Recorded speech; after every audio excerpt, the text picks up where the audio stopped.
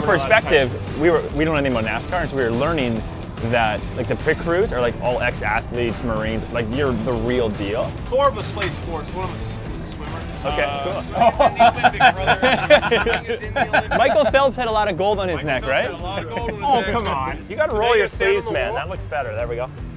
And you have to hop the wall with those? Jump over it with a car coming 55 miles an hour at you. I, guys, I'm running out of gas here. Jump! Jump!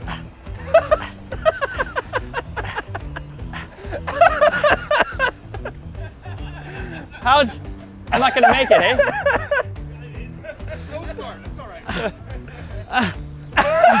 Come on! You gotta get back! I am. It's just taking me time. Uh, Green or red? Uh, probably red. Red. Okay, yeah. Thank you. That's a that's a big red. So if you think about that, that's two tenths of a second per lug nut. So if you go ahead and blink your eyes, that's two tenths of a second. Hold on. A second per lug nut? No, no, they gotta hit all five in under a second.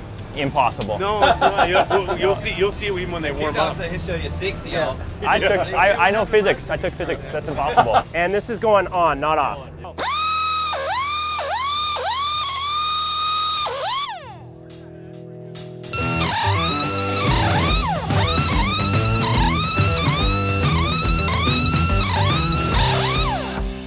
Hey, you cost us the race.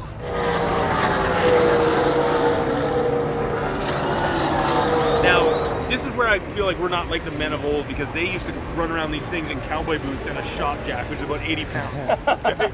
these things are about 20 pounds, and like I said, instead of 15 strokes, it's just one. Oh, that's still Much not. lighter. So what you would do, Sorry, this is much lighter. but that is much lighter. Okay. Give it to me. Oh yeah, much lighter. The stories we tell everybody was, um, and every historical story in NASCAR revolves around Dale Earnhardt. Right. So there's a guy who's going to be his backup jackman, and um, he finally gets the opportunity to go in at, at Richmond. And you know he's super excited. He's waited years for this opportunity. So you know, race starts. First caution comes out. All the cars come down pit road. He jumps off the wall as Dale slides into his pit, puts 3,500 pounds of race car up on the jack, goes and pulls the right rear tire, and then he has to come back to the jack to drop it to run around to the left side. Well, when he grabs the jack, he grabs it like this. Oh, thumb in there. drops 3,500 pounds of race car on oh. his thumb. Oh, Runs around the car, jacks the left side up, and then goes to the back of the pit stall and puts his hand in the cooler. They pit, they Oh. pit the car six more times that day, and at the end of the race, he climbs up on the pit box and tells the crew chief, "Hey, I lost my thumb on the first stop of the race. Can I go to the infield?" Are you serious? And it just it speaks to the passion that these guys had to do this. Talladega Nights was filmed at Chip Ganassi Racing, and when we told Will Ferrell that story, because he was going to be, they built a special jack for him. When we told him that story, done. he was done. He was Did out. not want to touch the jack anymore. And like I said, it's funny. We call ourselves the Department of Unrealistic Expectations because they expect this every single time. Like these time metrics, they expect every single time. And you're operating on the like, what, right on the verge of what's humanly possible, right? It sounds like it, yeah. Yeah. And and that's the same for everyone. Everyone's expectations all the way down are the same.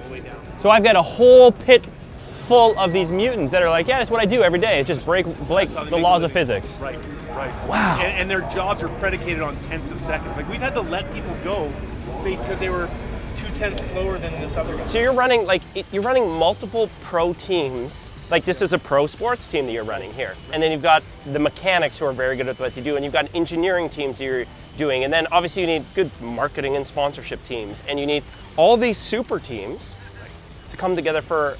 It's not just a car rolling around the track. It's Put that oh, crooked. down. No, it's fine. A sawzall. Sick. This is cool. We have a wireless modem. What are you doing? What are you?